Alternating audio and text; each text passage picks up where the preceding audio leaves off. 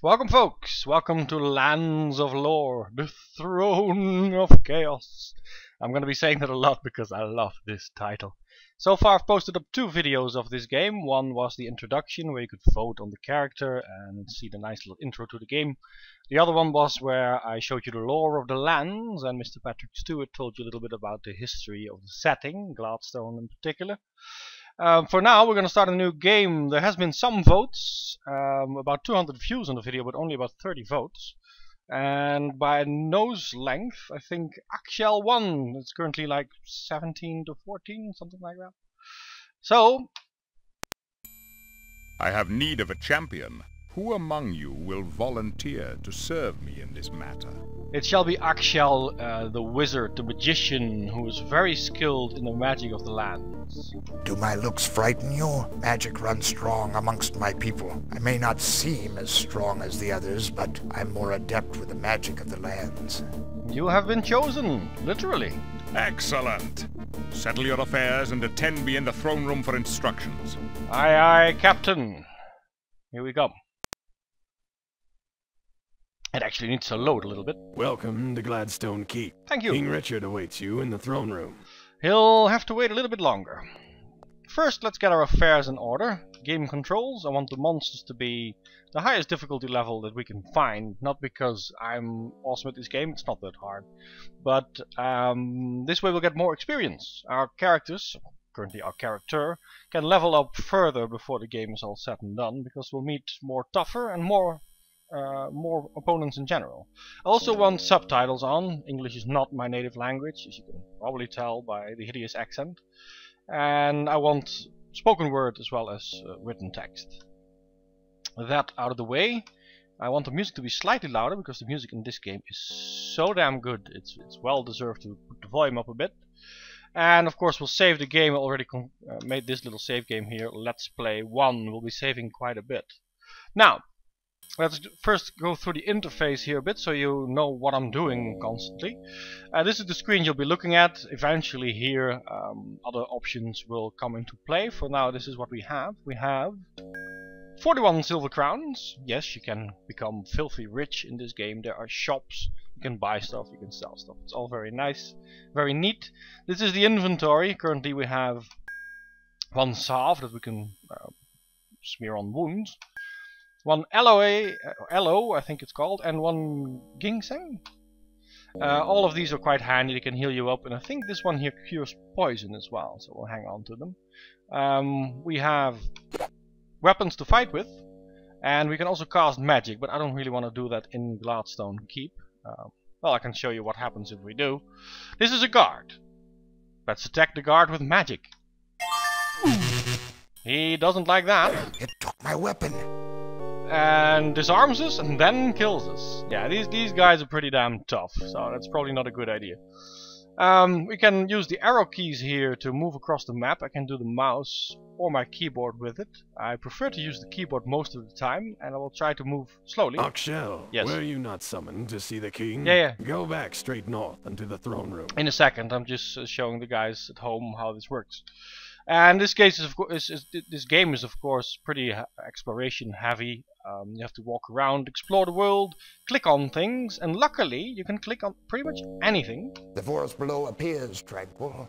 and often even twice. Is that bird looking for a place to land? Yes, it's, it's very observant, Ak'shel. Uh, you can see two bars next to our um, face here. One is hit points, 28 of 28, that is uh, the one to the right. And we have magic points, currently 32, which is a lot already to start out with. I can click on our face and we get to, um, well, what Ak'shel is wearing currently, uh, which is not a lot. We're a Dracoid, you can see we have a little tail here, and long fingers, and big ears. Uh, we don't have a helmet, we don't have any jewelry, we don't have any braces, we don't have a shield. We do have a shirt, which gives us a little bit of protection, and a mighty dagger, which improves our might here ever so slightly, and some sandals, which also add a whopping one to the protection. And you can see here our skills, none of them have been used much. The more we use them, the more we'll get better at uh, that particular stat. The Gladstone crest. Gold threads sparkle through the thick red yarn. And everything is spoken and the voice acting is very nice. The kingdom looks deceptively peaceful, but soft. What evil through yonder forest shows. You're quite the poet, aren't you? Let's uh, click into gear.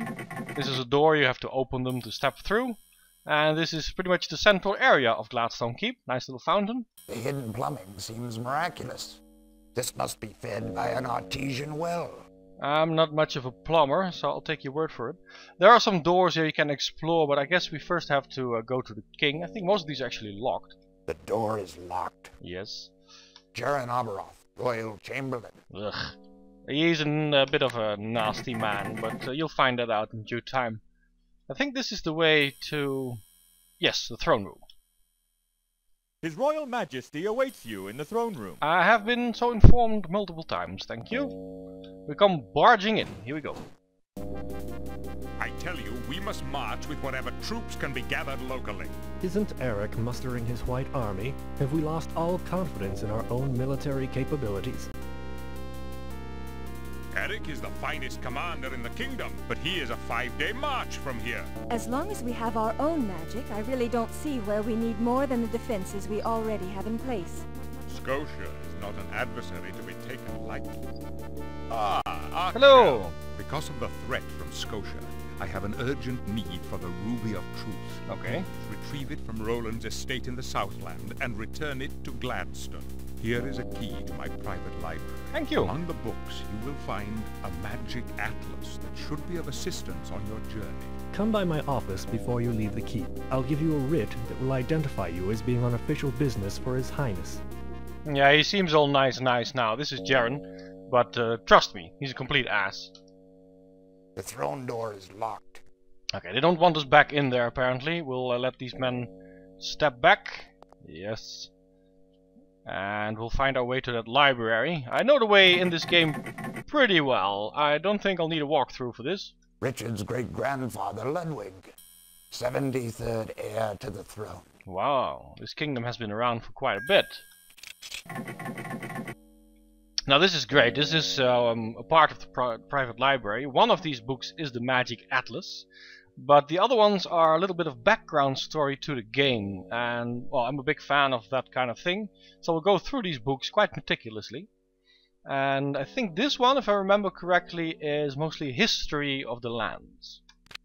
And so it came to pass that the ancient people of Gladstone, having discovered a method of controlling the magics, rose unto power amongst the barbarous tribes of the great wasteland.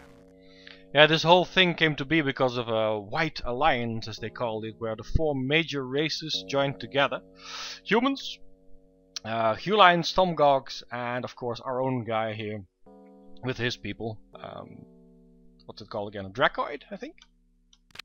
Thus it happened that King Andrew, thirteenth heir to the throne of Gladstone, descended into the depths of the Erbish Highlands, and there the shard of truth called unto Andrew, and he was smitten by its righteousness. The Shard of Truth. We're looking for the Ruby of Truth, but uh, apparently there's a little cousin out there in the world as well.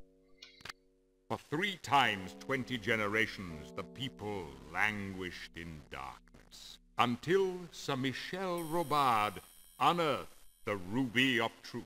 Verily it is written that the stone spoke unto Robard, and Robard offered up the ruby unto the heir of the throne of Gladstone. Okay, no information really there on where we should go. But the king gave us uh, Roland Estate as our first place to visit, so we'll just uh, keep on trucking there. But let's read a bit more. Only once has the ruby and the shard been combined. Ah. Truth was unbound, and all known forms of deceit were unveiled, and this unveiling wreaked havoc upon the denizens of the netherworld. And the nether beasts withdrew from the lands, and it was good. And a great peace fell upon the lands, and this too was good. This is quite crucial information, really. I mean, the Ruby of Truth, if you combine it with the Shard of Truth, can be used to see through all illusions and delusions and, and trickery and forgery. And since Scotia, that evil witch that you saw in the introduction, currently has a shape changer, I can imagine why the king wants this little toy currently in his possession. And so it came to pass. Okay, thank you. because we already had that one. Uh, this is... I don't remember. Let's check it out. For my part, I travel not to go anywhere, but to go. I travel for travel's sake. That's a nice one. It's a journey that matters after all. The city of Wyville is home to a wonderful little pub full of personable folk. Bruno's Lodge offers a wide range of fine vintages. Cabernets from the Wyville Valley and Chardonnays from the Irbish Highlands. Bruno also carries a splendid selection of ales, imported from the finest breweries in the lands. Well, we'll make a point of visiting that. I do like my wines, and I do like my ales. I think this is uh, an almanac on the best places to spend the night or have a beer in the lands.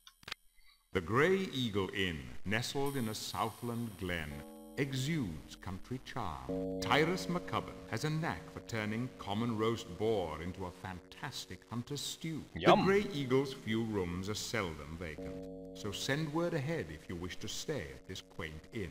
I'll trust my luck on that matter, but uh, sounds lovely.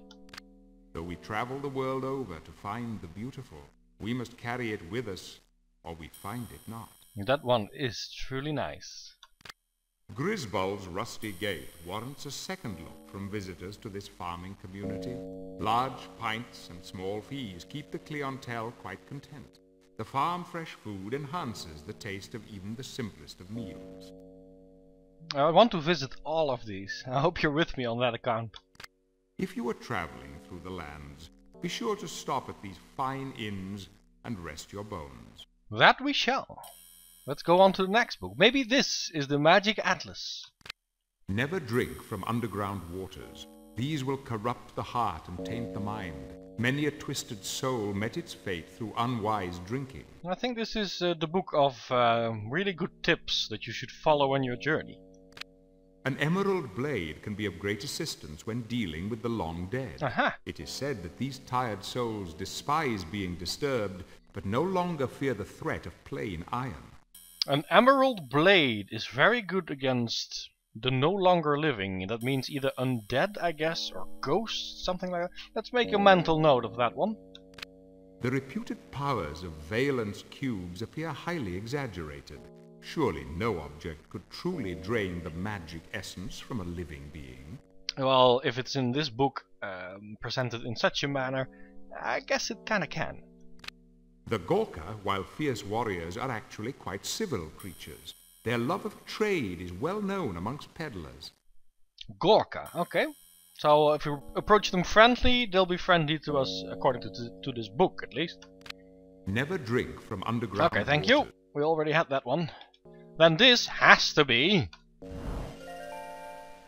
The Magic Atlas. Thank you. That was right on cue. I think this uh, cooperation between uh, the two of us is gonna go quite well. This is the Magic Atlas, and I'll just have a quick uh, round around the room and show you how it works. It will make a map from everywhere we go from this point on. It will do it in a nice, clean fashion, which is um, well, it's quite easy to just spot at a glance where you are and where you need to go. Currently, all we know about the entire room is just uh, sorry about the entire world is just this room but uh, the, the maps will grow as um, we move through the world. Um, real quickly, let me get back to the throne room, for instance. Have you found the Ruby of Truth? Dude, I was here I a minute ago. Questions for His Majesty. You are not to be admitted without the ruby. Well, that's that's strict and harsh, but fine. I just wanted to show the map to um, my dear viewers here. Yeah, you can see you have a nice little. I don't know the English word for it, but here you can see what stuff is. Uh, you can see doors, you can see niches and buttons and levers. Uh, buttons and levers are also shown um, when it, it, it's about a keyhole.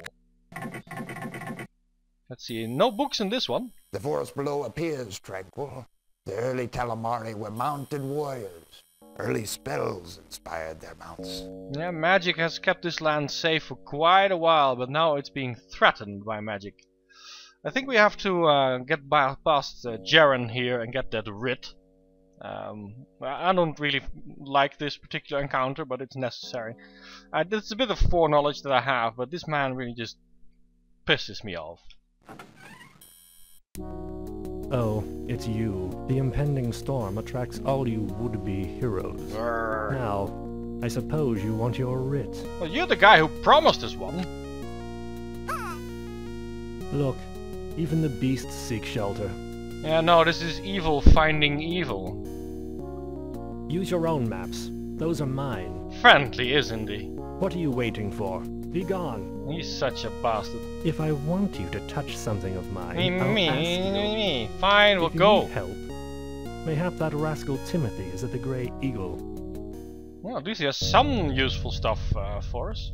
These are the first two shops in the game. This is... Royal Herborium. Okay, herbs and stuff. Shh. Did, did you hear something? If Scotia does attack, they say we won't hear a thing. Quickly now. Point out what you need. That bird, by the way, in the other room was quite obvious, right? It, I think you know that that particular bird was foreshadowing once again. That's aloe. Rub the leaf on wounds to heal them. Would you like to buy a leaf? Five crowns. Bit of a jittery fella, aren't you? And that five crowns at the end was downright creepy. I prescribe ginseng to neutralize poisons and soothe injuries. Would you like to buy a root? That is a 10 crown donation. Mm, No, thank you. That salve is a secret Gorka recipe for healing. That is a 20 crown donation. 20 crowns! My god, that's half my money. Gorka, we've just been reading about them. Uh, no thank you, I'm, I'm almost broke as it is. Those are only experimental ingredients. Yeah, don't experiment too much. You already look like you've uh, been on a few bad trips, maybe. They say the ruby and the shard are the only means of opposing the nether mask. I actually read the same thing. They say the ruby Well, uh, and thank you, my friend. It's Farewell. nice little shop you're running, but uh, nothing useful for me here at this point. There might be something useful here. I don't usually step into shops naked, but I think we can sell some stuff here. Oh, so you come to see Victor? Yes. Afraid of Scotia's new toy? A little bit. Why afraid? Look at Victor. Myself could use a shape changer. Dude, you... you show Okay. Victor what you want to buy. Maybe you show Victor what you sell. Okay? This is Victor, he's a simple soul, uh, but it's, uh, well, he gets a good laugh out of everything. I make even this wheel with these two hands. Well, they look like some powerful hands. That one a weapon right for you. 60 crowns. He's right, too. I want that weapon. You need that mace? 40 crown. Nah, nah, nah, nah. Excellent weapon! 125 crown. Actually, I want that one too. I could sell some stuff and get the rapier uh, right out of the bat, but if I wait, I think I have to explore the forest outside and then get back to Victor here. I think I can buy this uh, this awesome blade here. You have a thing to sell Victor? No, not yet. Now is not the time for training apprentice. Need one dagger? No, no, no, no, no, thank you. For now, we'll You just leave it at this because the- I, I kind of want the, the big sword here. I changed my mind. I changed my mind. I was going here uh, for the rapier, but uh, I changed my mind. Victor Glaston. Royal Armory. There's one other mechanic in this game. If you use your magic or if you get hurt, you can uh, heal. And these swords, for instance, here are a good way to show it. Fine swords. Impressive decorations. Sharp, too. This is what happens if you get hit. Sharp, too. You can see at the bottom here that it shows a hit point being lost. Sharp, too. It can go up uh, to like 20 hit points in a hit. Sharp, too. And you can see my health declining. Now you can just click this button here. You make a camp and lie down to rest. And then your magic and health uh, recharges. You can do that anywhere you like, folks. You can just pitch your tent in the middle of Gladstone Keep, in the middle of a forest, in the middle of a town. People don't seem to mind. Um, and, and all you have to do is wait. Of course, if you make camp in an unsafe place, then it might happen that your sleep gets interrupted by the local wildlife, bad guys, thugs, you name it, and you'll have to fight your way out. Now, we've seen Gladstone Keep. This is a rather small area, I know, but uh, it's a nice little start. We're going off into the forest now. Into the wild.